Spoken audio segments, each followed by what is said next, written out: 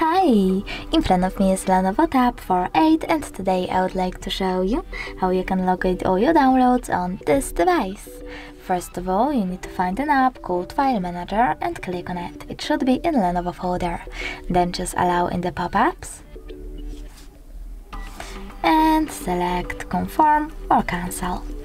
Over here you need to select Downloads by clicking on one of those folders, for example my device or my storage, and selecting downloads category. As you can see, all my downloaded files are here. Thanks so much for watching, if you enjoyed this video, don't forget to leave a like, comment and subscribe. Bye!